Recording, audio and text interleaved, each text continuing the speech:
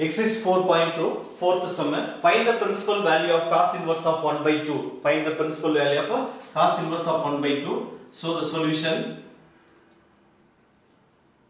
given function cos inverse of 1 by 2.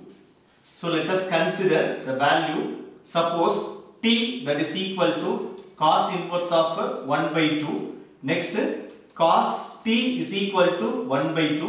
Next cos t is equal to. So this one pi by 6. That is pi by 3. Why? Because 30 degree. Then t is equal to pi by 3 is belongs to closed interval 0 comma pi. So therefore the principal value of the principal value of cos inverse of cos inverse of 1 by root 2 is pi by 3 is belongs to closed interval 0 comma pi. That's all.